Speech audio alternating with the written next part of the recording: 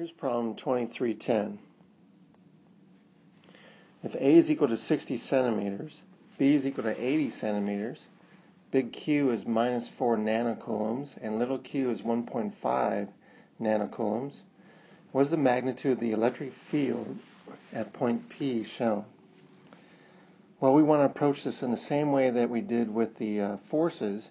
We want to look at each contribution to the electric field from each um, charge first and then superimpose that result together in a vectorial sum. So let's take a look at uh, the situation. We have Q over here equal to minus 4 nanocoulombs. We have little q over here equal to 1.5 nanocoulombs. So uh, big Q is a negative charge and little q is a positive charge. So if we have a positive charge, we are going to emanate away from that positive charge. And at point P, then we'll have a field, let's call this E2, going up like this. And then, of course, E1 is going to be going into the negative charge like this. So we'll have two fields at point P going in those directions. Let's find the magnitude of those fields uh, next. So, if we're looking at uh, field E1, the magnitude of that field is going to be equal to K big Q over R squared, which would be 9 times 10 to the 9 times 4 nanocoulombs. I left the minus sign out because I already got the direction with my vector and we are a distance little b away, which is 0.8 meters away squared. So we calculate this, realizing that um, the 10 to the 9 and 10 to minus 9 cancel out. This is actually uh, 36 divided by 0.8 squared. And that is 56.25. So we'll say 56.3 newtons per coulomb. If I look at E2, the magnitude of that field is K little q over r squared. 9 times 10 to the 9, we have 1.5 nanocoulombs. And the distance between Q and that point is A, which is 0.6 meters squared. again, the 10 to the 9 and the 10 to the minus 9 will cancel out.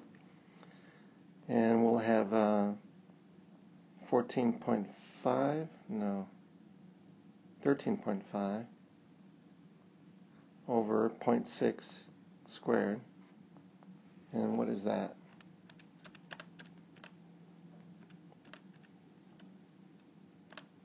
Thirty-seven point five newtons per coulomb. All right, so we have these two vectors, and it's looking something like this, where E1 is 56.3 newtons per coulomb in the negative x direction, and E2 is 37.5 newtons per coulomb in the positive y direction. So if we wrote this as a combined field, E1 plus E2, it actually would be a negative 56.3 I plus 37.5 J. If we want the magnitude of this field, we would square the components, add them together, take the square root. So negative 56.3 squared plus 37.5 squared. Negative is not going to matter when we square it. It's going to be squared out. And what does that give us?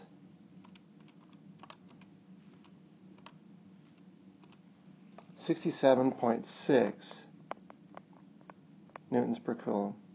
So that is the magnitude of the field that exists at point P, and it's going off in a direction like this, or as I'd write it on this chart, like that.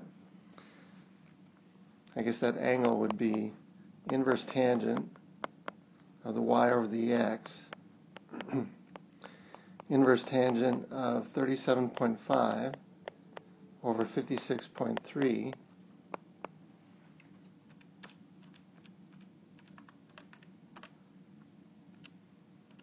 and that'd be 33.7 degrees north of, of west. That would be the angle right here. 33.7 north of west. So that is our, our answer for problem number 10.